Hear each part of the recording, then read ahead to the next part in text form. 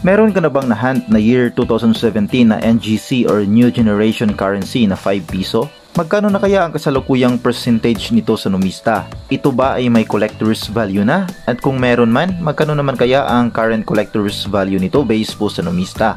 Yan po ang ating pag-uusapan at tatalakayin sa video na ito after this intro.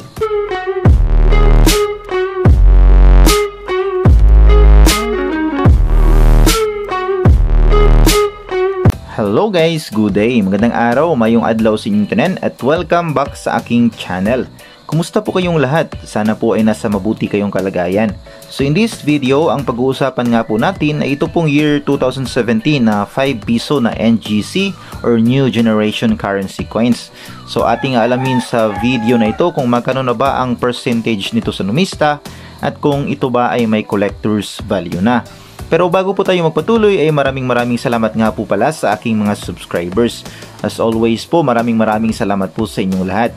At sa mga bagong subscribers po na paunti-unting nadagdag dito po sa ating channel, maraming salamat din po sa inyong lahat. Sa ating mga OFW at mga senior citizens, sa ating mga kapwa coin hunters at mga coin vloggers, maraming maraming salamat po sa inyong lahat. At kung bago ka pa lamang po sa aking channel ay huwag mo na rin kalimutang mag-like, mag-comment, mag-share at mag-subscribe at pakipindot na rin ng notification bell para updated ka sa mga susunod kong videos. So yun nga guys, ang pag-uusapan po natin ngayon, shoutout po pala sa mga manok. Yan, ang pag-uusapan po natin ngayon ay ito pong year 2017 na 5 piso na NGC or New Generation Currency. Yan, so ito po yung bago po nating uh, series of coins So from BSP series po ay nagpalit na po ang Bangko Sentral ng Pilipinas eh, into NGC or New Generation Currency Coins. Pero sa ngayon po ay kasalukuyang ginagamit pa naman po ang ating mga BSP series coins. So kasabay po nitong NGC ay umiikot po sa sirkulasyon ang NGC at BSP coins series po natin habang hindi pa po na demonetize ang ating mga BSP series. So itong year 2017 po ang kauna-unahang taon po na nagawa po sa NGC series po na 5 piso. Yan, pati na rin po sa mga 1 centavo, uh, 5 cents, 25 cents, 10 cents, sa ating 1 piso at sa ating 10 piso. Ayan, so ang NGC po ay nag-release din po ng uh, 20 piso coin at yun naman po ay nag-start from 2019.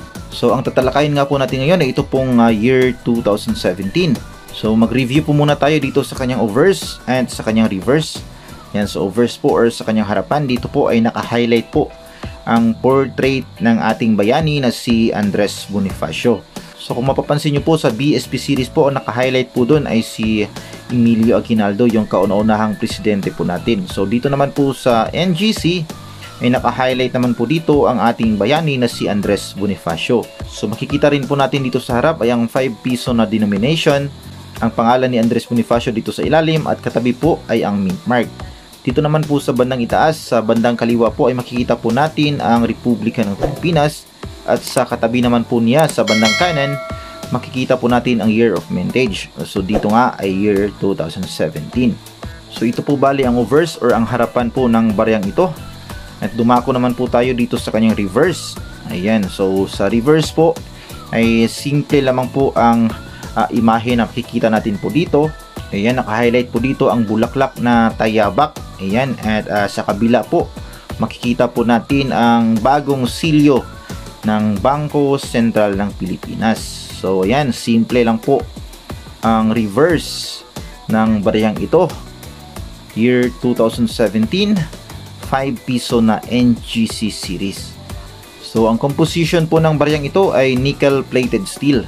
Yan, from nickel brass po sa BSP, naging nickel plated steel na po ang ating NGC na 5 piso. So automatic po na ito po ay isang magnetic coin. Ayan, at dumako po tayo sa numista para po malaman natin ang kasalukuyang percentage ng baryang ito. So ayun po dito sa numista, ang year 2017 po na NGC ay meron pong kasalukuyang percentage na 35%. So ayan, medyo malaki pa po ang kasalukuyang percentage nitong year 2017. At uh, masasabi po natin na ito po ay isang common coin pa lamang. At kung mapapansin nyo po ay meron na po tayong collector's value po na makikita dito sa Numista dito po sa year 2017. So, bali may tatlong price appraisal na po ang Numista dito po sa ating year 2017 na NGC. So, dito po sa extra fine ay nagkakalaga na po ito ng 49 pesos. Sa kanyang almost uncirculated naman ay 51 pesos at sa kanyang uncirculated ay 57 pesos naman po ang kanyang price appraisal. So meron na po palang collector's value itong year 2017 kung magbe-base po tayo sa Nomista. So balit um, kung magbe-base naman po tayo sa mga coin group eh medyo wala pa po ako nakikita na mga collector po or buyer na bumibili po ng year 2017 na 5 piso. Sapagkat medyo mataas pa nga po ang kasalukuyang percentage nito at sa kasalukuyan po ito po ay uh, medyo common coin pa lamang. Pero sa ibang lugar po ito pong year 2017 ay masasabi po nila na ito po daw ay semi hard to find na so dito naman po sa amin ay masasabi ko po na ito po ay common coin pa lamang dahil medyo marami na po akong hawak nitong year 2017. Yan kung mapapansin nyo po. Yan ito pong makikita nyo po sa screen. Ito po lahat ay mga year 2017 na nakolek ko po. Since nag-start po ako sa coin collecting journey. And so ito nga po yung mga series po na nakalagay na po sa DIY coin holder. Ay dati pa po itong mga nahan ko po at uh, uh, preserve ko na po. Nilagay ko po sa DIY coin holder. Yan, medyo marami na nga po ito. Mga year 2017 na 5 piso NGC or New Generation Currency. Yan, year 2017. 2017. Yan, mga 2017. So, may mga ilan-ilan din po mga vlogger na nagsasabi na ito daw po ay semi-hard to find. Yun po ay depende na po talaga sa lugar ang pagka semi hard to find dahil dito po sa amin itong year 2017 ay common pa lamang at wala pa pong mga collector or mga buyer na bumibili po ng 2017 na NGC or New Generation Currency.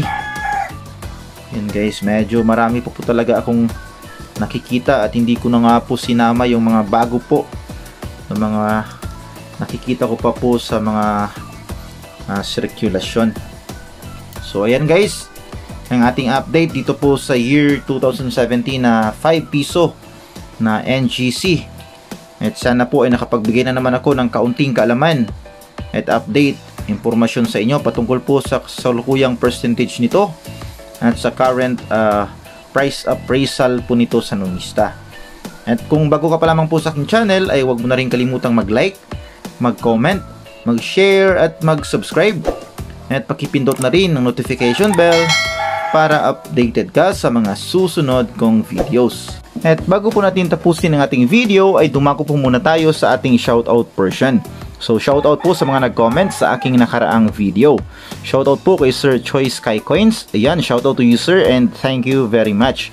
Shoutout din po kay Sir Roberto Perez Catalan. Ayan, shoutout din po sa iyo sir and thank you very much. Shoutout din po kay Sir Ramos Dong. Ayan, shoutout po sa iyo sir. Maraming salamat po. Shoutout din po kay Sir CNS Vlogs PH. Ayan, shoutout po sa iyo sir. Maraming salamat po. Shoutout din po sa ating kaibigan na si Sir Rastacoin24. Ayan, shoutout po sa iyo idol. Maraming salamat po. Shoutout din po kay Sir Saudi Boy TV. Ayan, shoutout po sa iyo sir. Maraming salamat po. Shoutout din po kay Sir Romualdo Nueva. Ayan, shoutout po sa iyo sir. Maraming maraming salamat po. Shoutout din po kay Sir Idol Greg Ahero. Ayan, shoutout po sa iyo Sir Greg. Maraming maraming salamat po sir. Shoutout din po kay Sir Mario Victorio Coins. Ayan, shoutout po sa iyo Sir Mario. Maraming maraming salamat po. And lastly po, shoutout din po sa ating idol, Tambay, aka The Money Collector. Ayan, shoutout po sa iyo Sir Idol. Maraming maraming salamat po. Ayan, maraming maraming salamat po sa inyong panonood at sa pagsubaybay sa aking munting channel.